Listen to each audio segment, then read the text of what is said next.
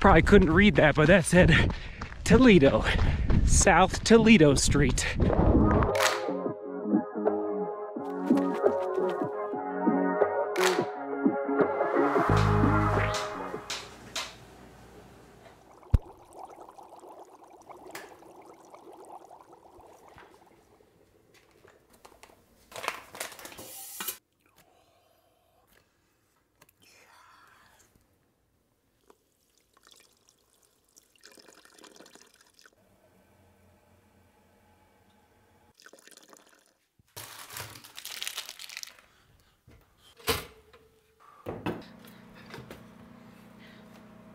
Forgot the butter.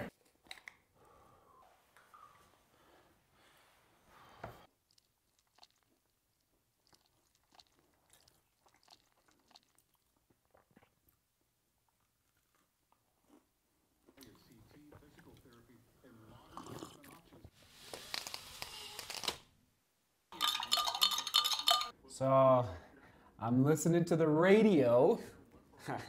I listen to the radio. I like I like getting the information for the day. They're calling for two to three feet in the southern Denver area. They're calling for six feet of snow in the northern foothill area. And they're calling for three to four feet of snow in the Genesee area along I 70, which is the road that I use to drive back to Denver. Not today. I think it's Saturday, more like a Saturday late Friday, Saturday, Sunday situation. Whoa, that's the real deal. What does that mean? We got to run. We got to get the, we got to get the volume in before we're you know running around in our snowshoes. Oh my my, that's a lot of snow, everyone. It's only 7 a.m. and there's already uh, 150 comments on yesterday's vlog all about the running watches. So just so everybody knows, I do have a Coros watch don't even remember which one it is. If anybody knows, let me know in the comment. I can't remember. And then there's the Polar. And then I have a Suunto, so I'm not beholden to no one. I'm willing to test anything, uh, but I've never been sent a Garmin. And everybody says I got to try Garmin, so who knows? Maybe, let me know, is Garmin, does Garmin have to be the next running watch that I test out for all of you? Okay, here it is. Oh man, I've, I've never opened this box, okay? This is the under Armour Flow Velociti Wind. I don't know what they look like. I'm not saying I'm going to take these out on my run today, but I am going to open them up right now with all of you. Whoa. Whoa. Crazy Under Armour. Crazy. I must say, my first thoughts out of the box is I'm kind of intrigued. Interesting. I'm definitely intrigued, Under Armour. Very intrigued, but I'm not going to take them out for this long run. You know what it is? It's the outsole. That's what I, I just, I think I'm going to run into some snow and ice out there and I can sense it just it doesn't feel like it's going to give be really great grip on the ice and the snow so I am going to take out with the Goodyear rubber on the bottom the Skechers Razor Excess there it is all right so a maximalist shoe from Skechers. Skechers Razor Excess. Ooh. Oh my my. Just gut like gut reaction, foot sliding into the shoe for the first time is nice. Oh, that feels it's like you know when a shoe fits like a glove? That is interesting. Okay. Okay.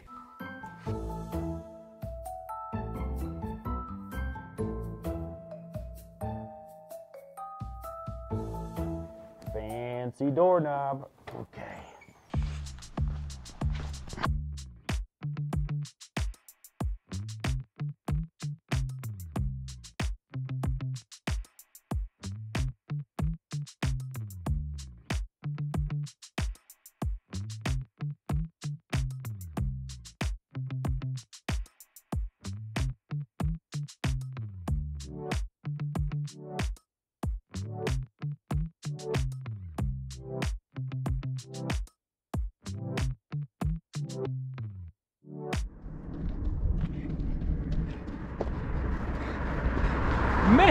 I feel amazing.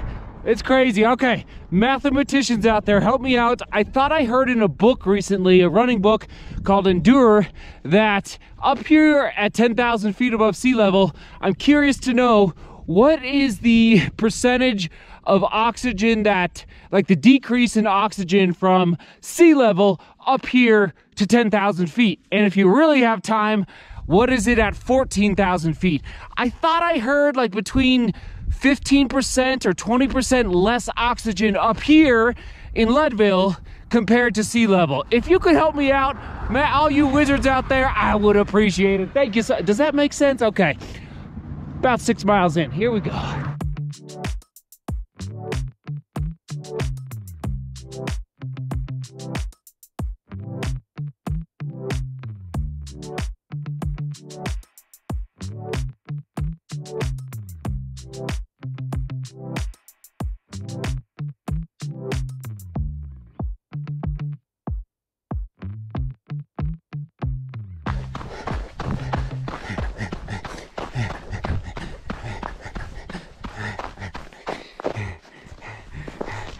End of the line.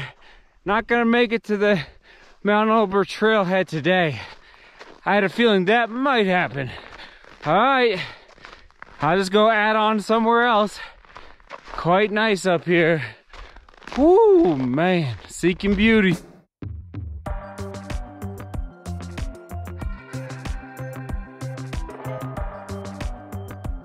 Go home. Go home. No. Gotta keep those dogs in check in Leadville, Colorado. Dog was chasing me. I have learned over time, depending on the dog, don't run. Just get loud and big. Some dogs you can't do that with. You gotta go find a tree. Climb up the tree.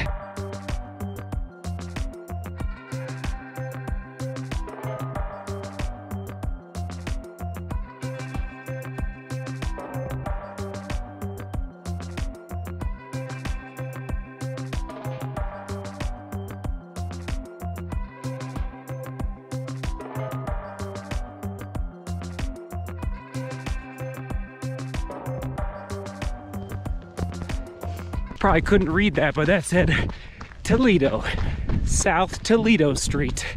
Just a little reminder to stay focused on the end goal.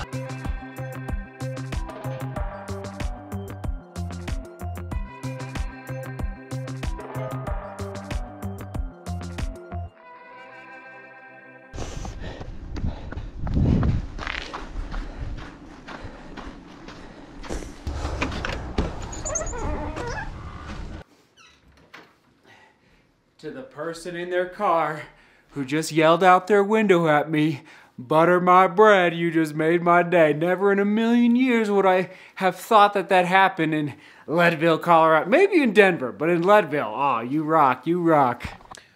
Where, oh, where does the time go? What a busy day at altitude. All right, we're diving into this topic. And yes, if you hear a dog barking in the background, I now have neighbors next door and they brought a dog they're out to dinner and the dog is barking. So, anyway, that's what that noise is. Okay, here's the deal I'm bringing up this topic, maybe a little bit of a controversial topic or hot take from me to all of you about altitude tents and altitude training. And yes, question of the day have you ever trained or raced at altitude? And what was your experience like training or racing at altitude? Okay, maybe your team, you know, maybe you live in Kansas and your high school cross country team, you know, drives eight hours or whatever it is, six hours to Colorado to train at altitude every summer.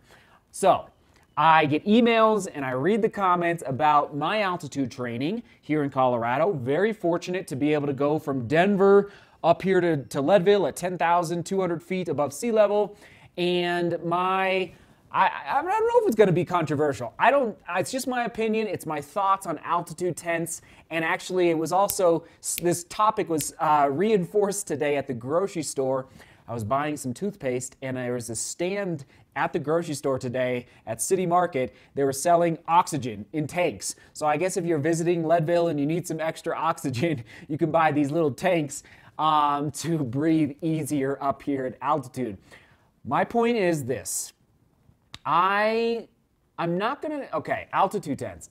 What are they? For those that don't know, it's this tent you can set up around your bed and at night when you're sleeping, you can crank it up to different altitudes where it basically sucks oxygen out of the tent so it mimics as if you're sleeping at altitude, okay? That's what an altitude tent is.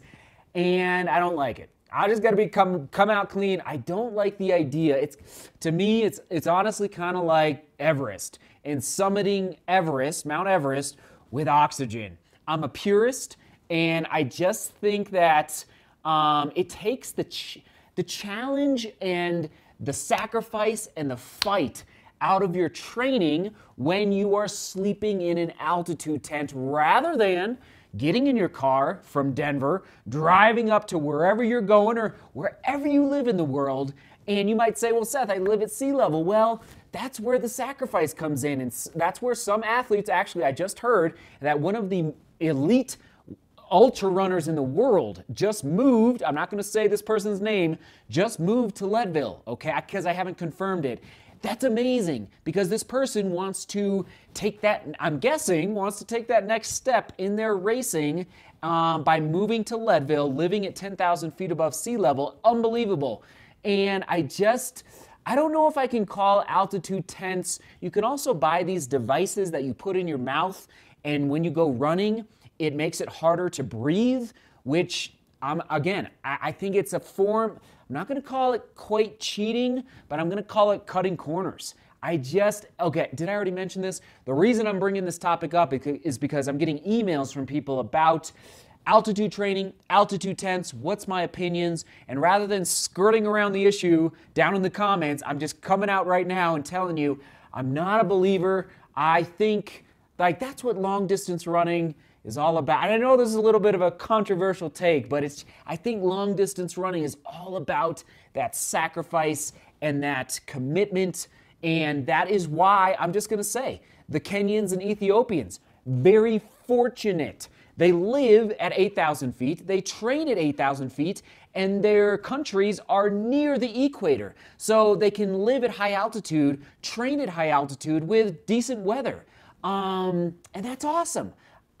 So, anyway, I love you guys. I hope it, this doesn't stir up too much controversy, but at the same time, we're family here. We can talk about controversial topics every now and then.